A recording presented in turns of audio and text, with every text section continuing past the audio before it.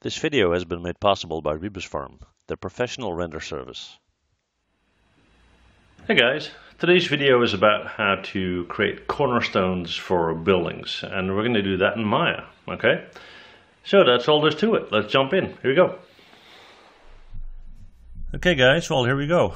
So in this video I'm going to show you guys how to uh, add some uh, constructual elements to buildings to you know make them more realistic or believable if you will. And for that I uh, pull up an old model that I made uh, a couple of years ago of this uh, church. And what we're going to do is we're going to add some uh, cornerstones. Okay, so this is our model. What we're going to do is we're going to start in this corner right here and we're going to start off by creating a simple polygon cube. Okay, let's move that over. We're going to hit F to zoom in. We're going to hit R to scale it out a little bit. And now keep in mind that this is not about making a low poly model. Uh, if you want to do this, um, uh, have the same effect on your low poly model, you would need to create a high poly and create a normal map. And I did videos on that. But that said, that's not what we're going to focus on right now. So we're going to take this stone here. We're going to make sure that we have roughly the appropriate proportions. So we're going to have a view from here. Let's hit W, bring that in. This is not necessarily the corner that we're going to work on, but that's fine. Looks like it's it's good. Yep. Alrighty. So what we're going to do before we start to use that is we're going to tweak it a bit, okay? So we're going to go to insert edge loop, option box. Let's add, let's say, we'll do four. Four subdivisions right there and four there. Now the reason why it's uh, colored yellow is because I got my soft select on. So I'm just going to hit B to turn that off. We're going to hit Q on our keyboard so here is our brick. We'll, uh, let's see, we will add a few here as well. Okay, hit Q on your keyboard again. We're gonna right click our vertex and we're gonna grab a bunch of vertices. We're gonna hit B on our keyboard for soft select. And as we hold down the B key by left clicking and dragging, you can increase or decrease the affected area. So let's do something like that. We're to hit W and we're going to start to move that a little bit.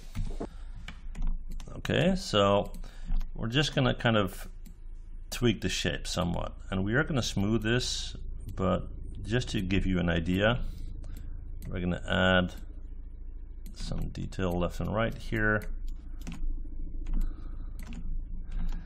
And again, this is pretty high poly, so if you do this, uh, either and make sure that you're not concerned about the poly count or make sure that you create normal maps okay?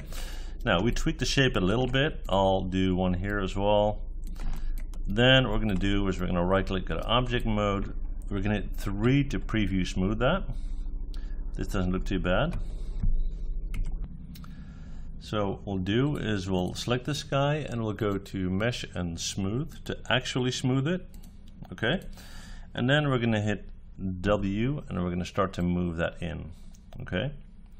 Now let's position that to where it should be. So we'll have a look from our top view. Hit F to zoom in.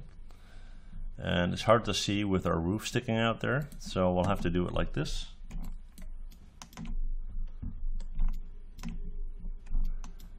Okay so we're gonna push that in. To about there.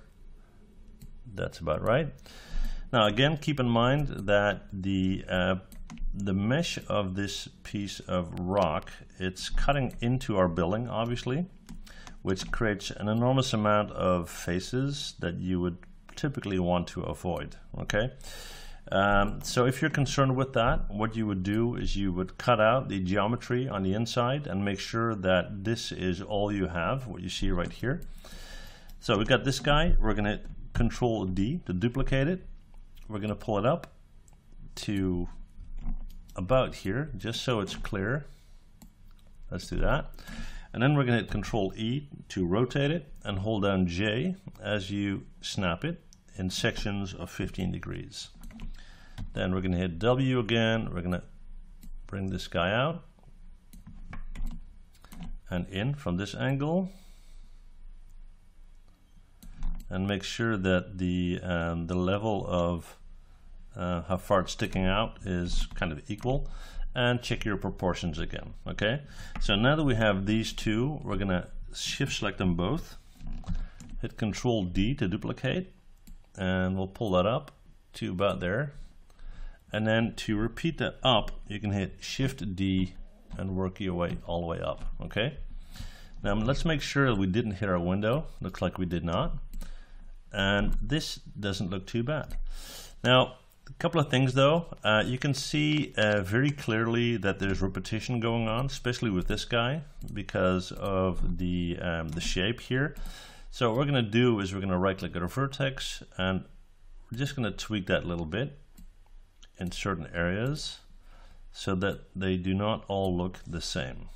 All right, and that's something you typically want to avoid. So I'm just going to tweak that. I won't do all of them, but just so you know that it's important to keep that in mind. All right. So that is how you do that. Okay. So uh, that's it. Uh, if you like this video, then please hit that like button and subscribe to my channel for more videos. And that said, thank you guys for watching and see you guys next time. Bye.